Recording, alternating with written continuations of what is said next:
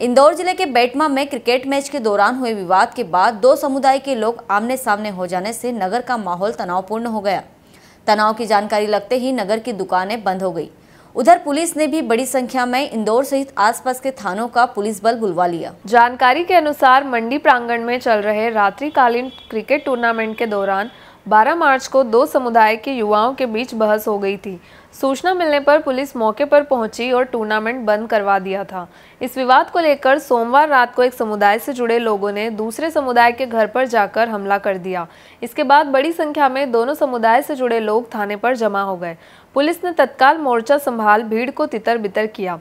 इसके बाद इंदौर से बल बुला लिया गया। वरिष्ठ अधिकारी और बड़ी संख्या में बाहरी बल बेटमा पहुँच गए। वहीं देर रात पूर्व विधायक मनोज पटेल भी बेटमा थाने पहुँचे। बेटमा से संवाद मिली। जैसा कि मुझे पता लगा था कि शायद एचएम हुआ है और एचएम की जानकारी मुझे मिली तो मैंने प्रशासन से बात करी। प्रशासन में एडिशनल एसपी डीआईजी आईजी साहब से बात करी। उन्होंने यहाँ फोर्स भी भेजा और यहाँ स्थिति अभी नियंत्रण में है। और जैसा कि मुझे पता लगा था कि हमारे पार्षद भारतीय जनता पार्टी के पार्षद और उनके परिवार के साथ में घटना घटित हुई। उनके घर में घुसकर कुछ असामाजिक तत्वों ने हमला बोला और उस पर रिएक्शन में पुलिस ने कार्रवाई करी और पुलिस की कार्रवाई से हम संतुष्ट हैं। मुझे यहाँ आकर के जब पूरी स्थिति की जानकारी हुई तो मुझे लगा कि यहाँ कुछ एक वर्ग विशेष की जो आतंकवादी गतिविधियाँ हैं वह बंद होनी चाहिए और इससे प्रशासन से बात करिए और वह निश्चित रूप से इन आतंक जो उनने मचा रखा है अब बंद होगा इसे बर्दाश्त नहीं किया जाएगा। भैया वर्ग विशेष और मेरे बड़े भाई मेरे नाना जी और अखाड़े में एक दो लोग थे वो एक्सरसाइज कर रहे थे और नाना वगैरह पूजा कर रहे थे। तो हमको बहुत ज़ोर से आवाज़ आई कि मोमेडियन जैसे कुछ हल्ला गुल्ला हुआ हो तो जितने भी मोमेडियन लोग थे काफ़ी लोग थे तीन सौ चार सौ लोग होंगे उनकी बहुत ज़ोर ज़ोर से आवाज़ आई।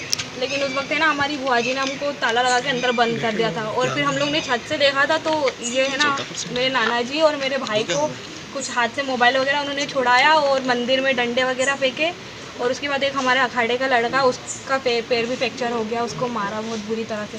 उसके बाद हम लोग आए तो उन्होंने हमारे सामने भी आए वो लोग और हम पे भी तलवार वगैरह और उनके हाथ में रिवॉल्वर वगैरह भी थी काफ़ी लोगों के पास और तलवार भी थी गाली गलौज भी की, उन्होंने पथराव भी किया और बहुत सारे लोग थे और सामने सामने आ रहे थे। बच्चे तक हमारे घर के छोटे छोटे बच्चे आठ नौ साल की लड़कियाँ, उन तक को भी उन्होंने बाल बाल पकड़े और मारने की कोशिश की। यहाँ बेटमा में क्रिकेट मैच, के बाहर कुछ दर्शकों के बीच में आपस में वाद हो गया था।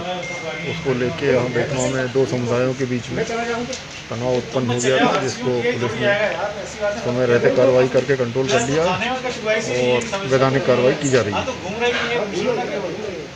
अभी कोई गिरफ्तारी नहीं हुई। हम लोग लॉ एंड ऑर्डर को की तरफ़ ज़्यादा ध्यान दे रहे हैं। सर अभी बेटमा अभी शांतिपूर्ण है। सभी आसपास के थानों से बुल पुलिस लाइन से तमाम जगह से बुल बुलाया गया है। हेलो फ्रेंड्स आप देख रहे हैं हमारा channel S W twenty four news हमारे सारे वीडियो सबसे पहले देखने के लिए आप हमारे चैनल को सब्सक्राइब करें और पास में लगे बेल आइकन को दबाना बिल्कुल भी ना भूलें।